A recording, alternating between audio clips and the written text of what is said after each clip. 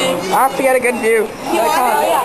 That's okay. More in bubble gum. Where's the roller? I'm scared that she's gonna fall. I don't want her to push on my shirt anyways.